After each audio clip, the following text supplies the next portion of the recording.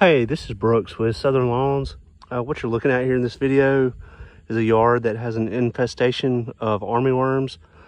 As you can see, their little caterpillars are everywhere and uh, they're doing quite a bit of damage to this yard.